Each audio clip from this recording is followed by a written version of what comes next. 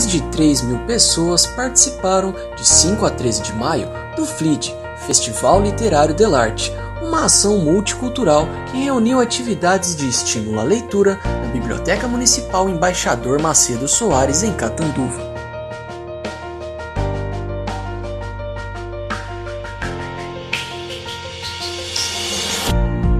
Diariamente, o festival recebeu alunos das redes de ensino municipal, estadual e particular de Catanduva e toda a região, onde sessões de contações de histórias encantaram centenas de crianças. Durante nove dias, o público desfrutou da feira Entre Livros, com mais de dois mil títulos e preços a partir de um real.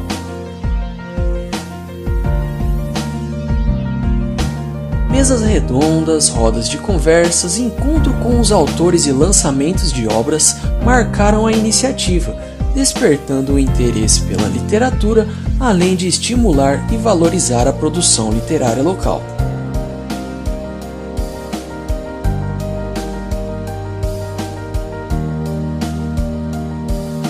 Trabalhamos para que o festival dê frutos, que mobilize, que mais e mais pessoas sejam agentes na missão de tornar Catanduva uma cidade de leitores.